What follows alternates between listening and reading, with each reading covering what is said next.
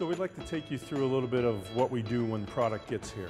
Um, we Brix test items, which we don't just look at the quality of freshness on the outside and the inside as we cut into it, but we want to know what the flavor is also.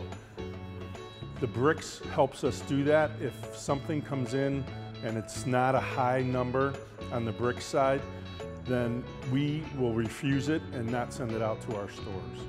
We pride ourselves on, on, delivering the sweetest and, for the most part, the biggest grape. There is a difference in sizing and quality when you purchase grapes from Heinen's versus competition. The grapes we tested today were from a number of 17 to 20 in the sugar content, which means they eat very good. Um, that, that is an excellent number, especially when you get up to a 20 Brix. Over five years ago, the citrus category was very limited. All we really had were navel oranges, maybe a tangerine and a Minneola. Today, we're carrying over 10 varieties of citrus, whether it be a sumo mandarin, a suki mandarin, or even a Neapolitan. These items have become household favorites for our customers.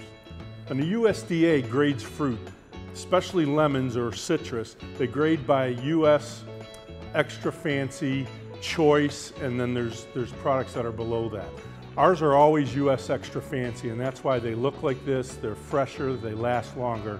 Something like this here is not as good a quality as what we have here at Heinen's. A common mistake people make with apples, including our competitors, are they keep them out of refrigeration.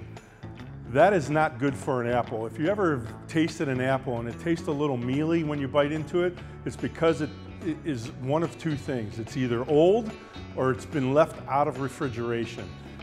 Now, when you look at the quality of an apple you may buy at a discount store, you might see this kind of apple here in my right hand. So not all apples are the same. Even though it's a little discounted, it's not the same apple. Fun fact about avocados at Heinen's. We pressure test all our avocados when we receive them into our warehouse so that they ripen properly for you at home and taste great.